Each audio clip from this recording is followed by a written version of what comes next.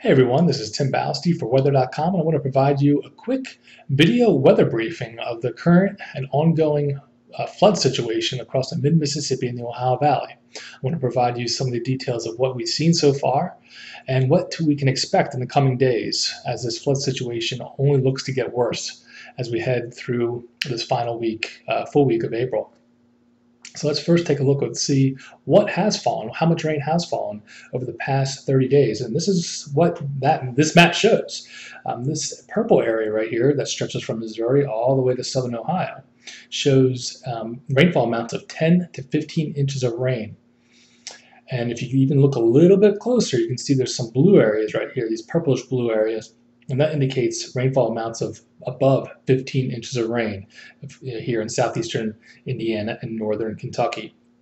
And you can see this is all fallen, this rain has all fallen along the Ohio River and where it again merges with the Mississippi.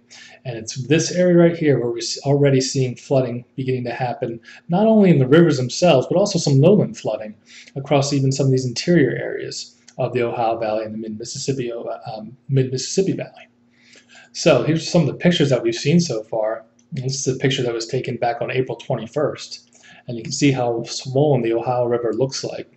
And some of this, the water from the Ohio River kind of seeping um, to the left and seeping into the right into some of the, um, the, uh, the adjacent lowland areas. Here's another picture of the Ohio River. And notice that it's already we're seeing these types of pictures of water getting closer, not only closer, but coming into residential areas, which you, as you can see in this picture.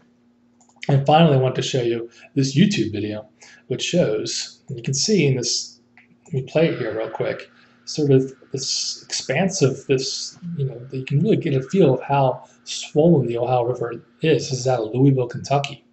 And if you can match this picture right here, and notice, if you can imagine, this is sort of like a ladder, and there's one rung here.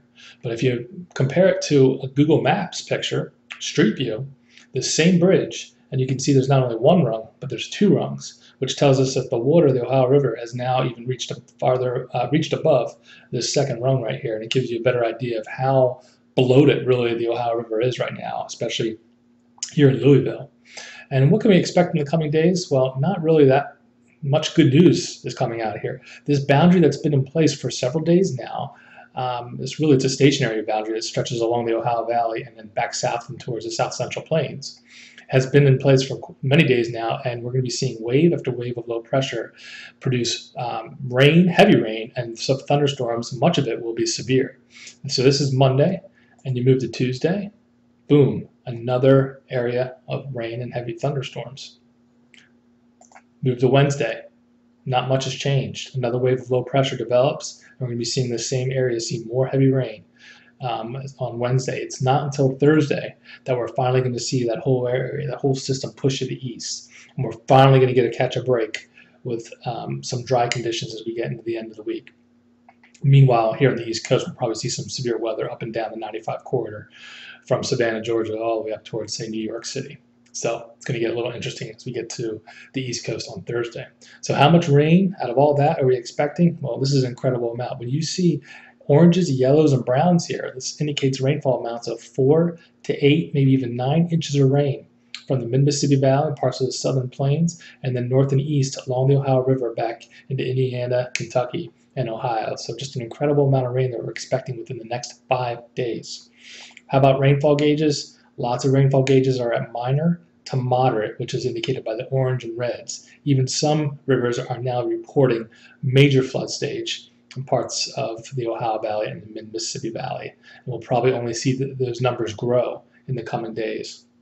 At weather.com, go to our homepage, and you're able to click on a flood tracker. And this flood tracker will give you good, um, quick links to our radar maps, our interactive map, and if you like the classic map, we have our classic view right here. And then finally also some precipitation forecast that goes out to 48 hours. And also, of course, our flood warnings and watches. So you can always keep on top of what's the latest uh, warning, and if, if you're under a watch too, a, a flood watch or a flash flood watch.